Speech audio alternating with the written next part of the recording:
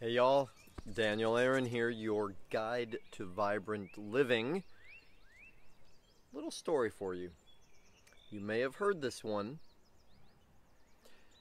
There was a eager student of the way of the samurai.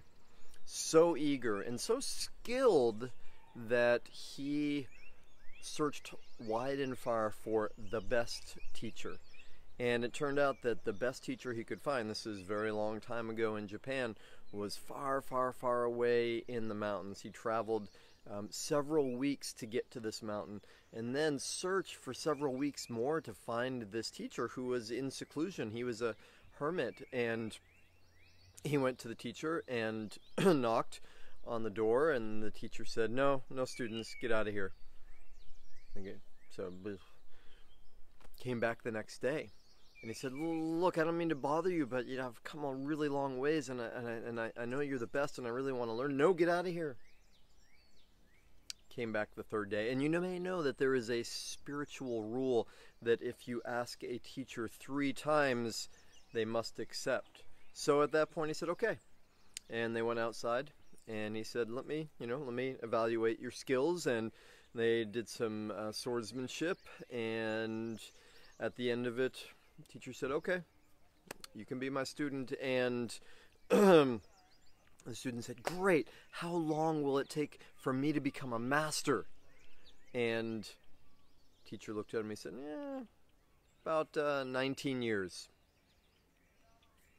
The um, student thought about it for a minute and he said, what if I train twice as hard? What if I get up extra early every day? What if I work so hard? Teacher thought about it again. 40 years.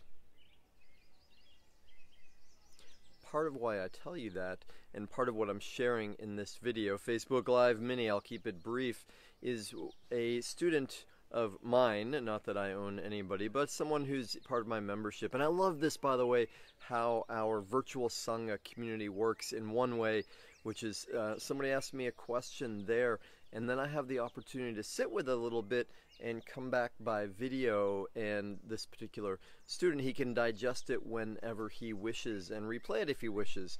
And so this story is in part for him and in part for all of us because as one of my teachers put it on the way to happiness there should be some happiness. And when we are in that driven mode of I gotta do it and I gotta we slow down the learning. We get contracted, we get driven, we miss the opportunities, we miss our genius. And so part of the teaching is to say, hey, you know what?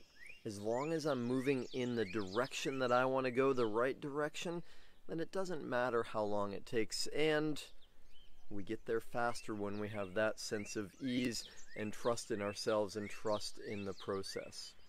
Now, part of the question that came to me is, well, I'm, you know, new into yoga, and what should I do? How should I do it? What kind of yoga? And I got a couple recommendations. One is, yes, there is a whole world of online yoga, and I am far from expert. A friend of mine, Jody Blumstein, I know is on YogaGlo, and I've heard good reports about that. And I know there's so many different ones. So what I recommend online or in person, get a free trial right? Go or do a you know cheap membership kind of thing at a place first and try out a lot of different styles, try out a lot of different teachers because the yoga that works best is the one that you actually do that feels good where you want to keep doing it.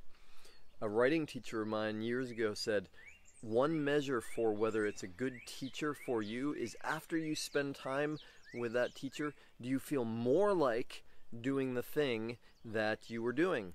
Or less right so a teacher good teacher should be challenging for you yet also inspiring and leave you with the feeling of i want to do more of this because any practice any study will work sooner or later if we keep going with it right? second thing is especially for my friend who asked the question he, part of what he's wanting is more physical awareness um, better sense of body and health, body image, perhaps losing weight. There have been some struggles with um, physical weight and fat, which I can relate to, which 98% of the people that get into yoga can relate to. And So, on that level, they will all help because they will all help get more in touch with, in tune with our body. And when we are more in tune, we have a better sense of what to eat, when to eat, when not to eat, and the kinds of yoga that incorporate presence, especially through breath, speaking of vinyasa, especially helpful for you, my friend, because they will also um, create a lot of physical movement. And you might love a kind of practice that's like Ashtanga or what's often called power yoga, type of um, very strong, almost athletic yoga. I love that style in part, and I love other styles because I get a lot of uh, bang for the buck with it. I do, um, if it's a 15 minute practice or an hour practice, I it's essentialized and I get a lot of physical movement, exercise, and mental spiritual tuning in with it. All right. Facebook Live Mini, I said. So I hope that that is helpful for you. I hope that's helpful for all of you. Remember, the best kind of yoga is the one that you continue to do. In the yoga scripture, it says stiram, which means steady, strong, challenging, and sukham, which means easy, joyful, pleasant.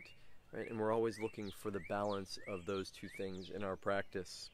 All right, y'all, that's it for me for now. Thank you for tuning in. Thank you for being interested in creating your vibrant life. If you're interested in joining us in the virtual Sangha, the membership, it's rocking. I am so blessed and I'm so amazed at the breakthroughs that people are having there. So if you are interested, I'll put some information below. Join us.